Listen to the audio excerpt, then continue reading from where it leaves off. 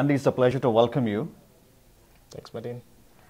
We have known for many years, um, you have always been a professional, then you went to the entrepreneurship route, who took the plunge and took your company, you know, to the next level, and then I think you were sold to uh, Myntra a few years back, Yes. and now you're back to the second venture. So I want to draw some nuggets out of you in terms of entrepreneurship lessons. Since this is your second time around, I'm sure there is some lessons you can share with, you know, young entrepreneurs. Um, they always tell me that fundamentals don't change. Economies might change, but the fundamentals of entrepreneurship don't change. So, wanted to ask you between the first and the second, what are the fundamentals that don't change? And then we can talk about what are the things that have changed. Yeah, first, thanks for the opportunity to talk about my experience, and it's always a pleasure to share um, the journey. You know what things have like I, I I mentioned many times to people who ask about you know repeat entrepreneurship. I say that you know I I don't make the same mistakes. I make new mistakes, right? So with that as a backdrop, what has changed is many things have changed, right? When you look at a company, what does uh, a startup need? A startup needs team, startup needs finance, startup needs a problem or a product that you're going after.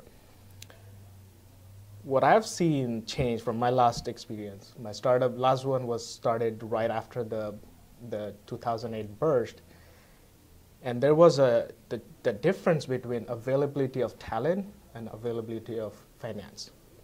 I think that is a big change that I'm observing. Right back then, you had a lot of talent that you can absorb, you can get. There wasn't much competition, but the resources were less too. Things have flipped right now. There's a lot of op- opportunity. There's a lot of capital but very less talent that you can get, especially in the Bay Area, as you know. Yeah. It's a hot market right now. Big companies pay a lot of uh, compensation. So how a startup competes, that's a big thing step change. Fundamental of starting a company, building a company, as you said, those are same. You know, tactics have different, strategies are same. But this is the big dynamic shift that I've seen happening over the period of time. Let's see how this proceeds. But I would honestly love to go back to the original time when you have less resources so you can focus exactly on what is important for a startup. Um, so that's a good point. What is important for a startup? Focus is very, very key. Uh, one of the big pain points for most startups is uh, once the ideation and the product you know has evolved, getting the customer. So any advice on getting the first customer or the first 10 customers because you have to prove your concept? That's absolutely right. It's a it's a chicken and egg problem. You don't have a customer till you have product. You don't have product till you have customer. And you know every time, depending on what sector you're going after. My last startup was primarily B2C, uh, a, a product that was used by consumer, and this startup is B2B. Um, there are different tactics when you say B2C company versus B2B company. Uh, When you're building a B2C company, you pretty much go out with a thesis. You go out with a hypothesis. Say that if I build this, this, this, depending on my observations, I will start getting this traction. And then you start navigating your product, you start navigating your product features, the tactics of distribution, and so on and so forth. When you're looking at the business focused startup, it's a little different you know, you can't really build a product that they're looking for because they're looking for a mature professional product. So then you go after and you say, look, I can build this, and you know, if you give me this, this, this amount of, um, and it's not again, Sure, it's, it's sure. not a you know exact statement, but if you give this, this, this, this commitment, I will give you this, this, this. Then what you do is go after and gather resources, get get funding, build this MVP product, right? Yeah.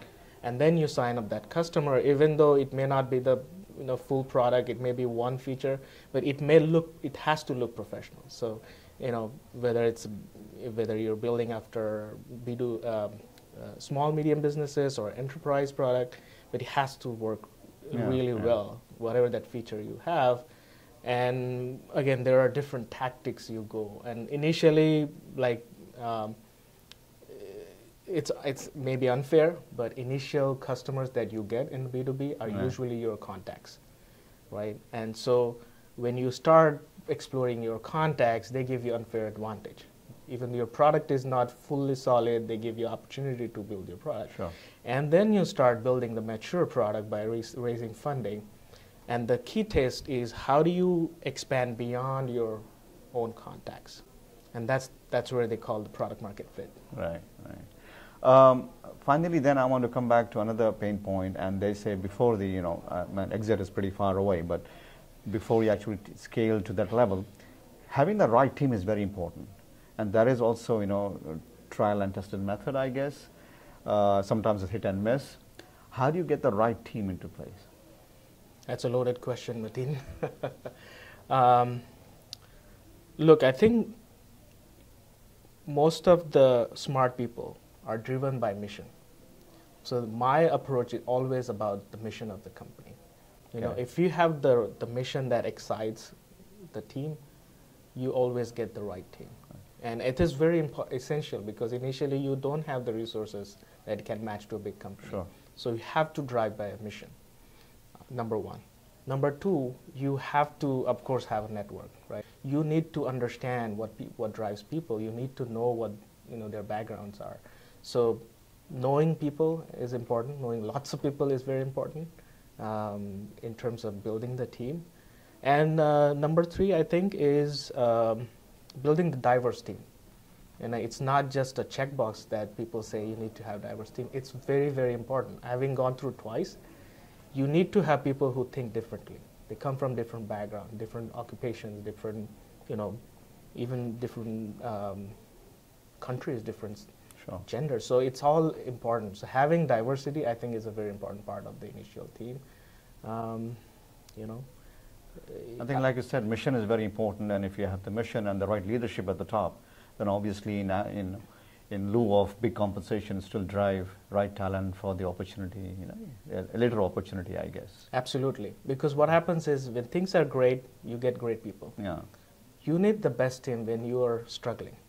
You need your team to be with you and take the company out of that and thrive beyond that. And that's where the essentially the strong team driven by mission is very important. yeah. Well, all those are very, very good pointers, and I'm sure it will be very valuable. Like always, uh, Andy, it's always good to meet you, and uh, you had one success, like I said. I'm wishing you all the best for the second one, and continue to do the good work. Thank you for sharing your thoughts. Thank you for the opportunity.